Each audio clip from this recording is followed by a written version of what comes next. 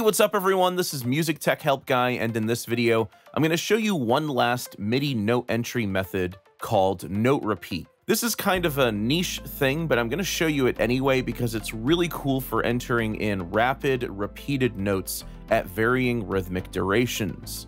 In particular, I find this really helpful for creating cool trap hi-hat rhythms, and that's exactly what I'm going to do in this video. But before I get into the tutorial, I want to quickly tell you about the sponsor of this video, Boombox. Boombox.io is an awesome new music storage and audio file commenting tool that's perfect for musicians, producers, beat makers, and other collaborative music makers. With Boombox, you can upload your tracks, the site supports single file upload or batch upload, you can invite collaborators like other producers, other co-writers, bandmates, and others to comment on your tracks in the form of time-stamped feedback. If you want to check it out for yourself, head over to boombox.io where you can sign up for a free account today and get 4 gigabytes of free storage. So in this project, I already have a basic 8-bar beat. This is just sub bass, kick drum, snare, and clap. There's no hi-hat yet.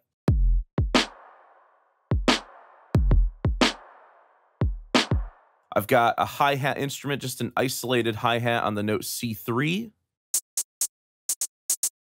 When doing this sort of thing, I highly recommend that you separate your hi-hat from the rest of your drum kit. And the way you can just select a single hi-hat is create a new software instrument track, go into the library, go to electronic drum kit, and scroll all the way to the bottom of the list, and there's an option that says kit pieces. Here you can choose individual kit pieces for Drum Machine Designer. So I've selected hi-hats, and then I've selected the Silver Lake hi-hat. But you can see there's all these different hi-hats in here for you to pick from if you like building your drum beats track by track. And then I also have this Astro Funk bass, which is actually the first instrument I'm going to demonstrate in this tutorial. Now, if you want to follow along with me, this project is available as a free download in the video description below.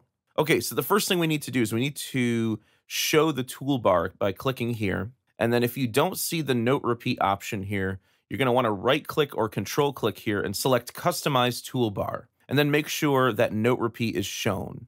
Okay, so I'll just click on note repeat. And by default, you'll get this sort of really basic view of note repeat. You can click here to open up some other controls. There's also a key remote feature that I'll show you how to use with the hi-hat. But for bass, I'm just going to keep this simple. And the way this works is whatever track you have record enabled and selected will be transformed by the note repeat dialog as long as note repeat is pulled up. So right now you can see that the rate says eighth note, velocity as played, and gate 90. Let me just play a few notes in with my bass.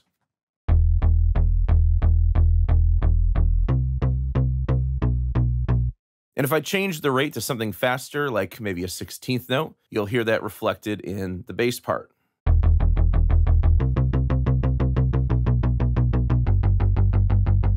You can also set the velocity to a fixed value or you can just drag this all the way down and you can set the velocity as played. So I'm going to set my velocity to like 100.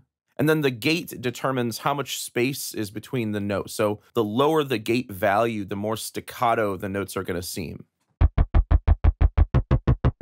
I think 29 is probably a bit too much. So I'm going to pull this up to like somewhere in the 60s.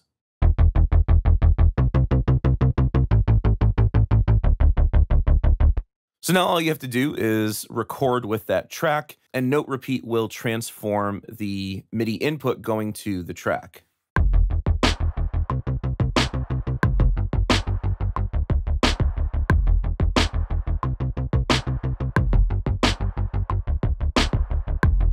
And there you go. So now when I open this MIDI region up, you'll see that all of the notes have been automatically transformed into repeated 16th notes. Everything is perfectly quantized to the grid. I do have a few overlapping notes here that I may want to go ahead and edit, but most of the hard work is done for you here, so you don't have to type in the notes one by one. There's no need to go through and swipe with the brush tool. Although you could make the argument that you could do this faster with the step sequencer, so it's completely up to you.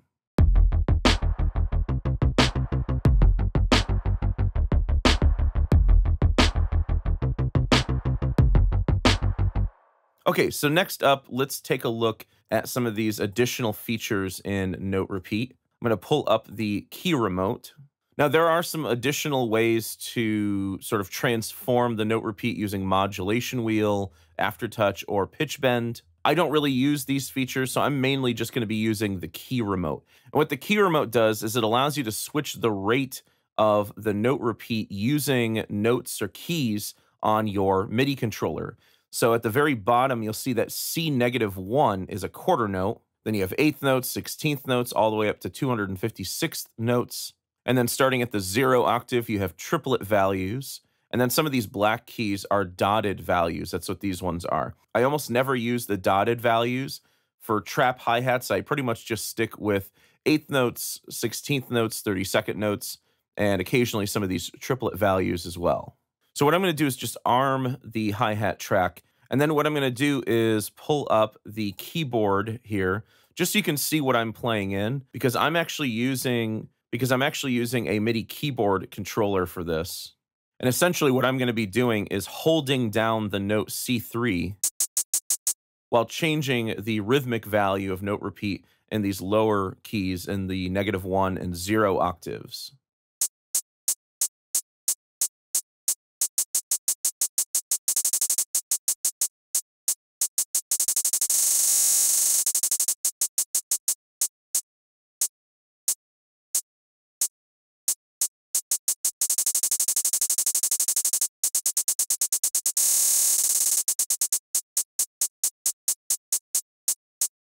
Okay, so let's give this a shot. I'm just going to hit R to record, hold down C3 for the hi-hat, and then play in some various note repeat values.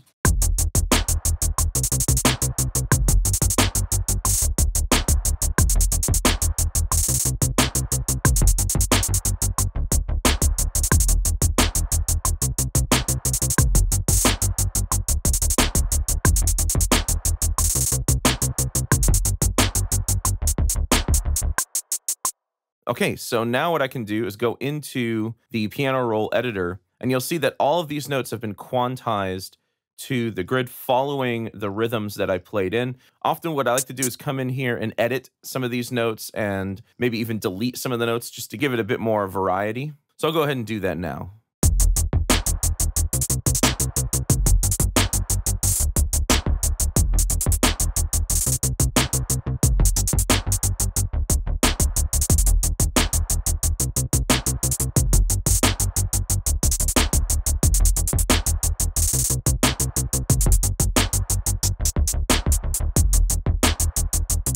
Yeah, so if you're a fan of trap music and you like these sort of quick, rapid trap hi hats, I find Note Repeat perfect for getting these types of recordings in relatively quickly. Now, honestly, this feature is much easier to use if you have some sort of beat pad style controller like the Novation Launchpad or Launchpad Pro because the pads are much closer together than the keys on a keyboard controller. And if you don't have at least a 49 or 61 key keyboard controller, using Note Repeat is going to be rather difficult for you. I actually did a video a while back using my Launchpad to trigger the different Note Repeat values, so I'll show you a bit of that video now.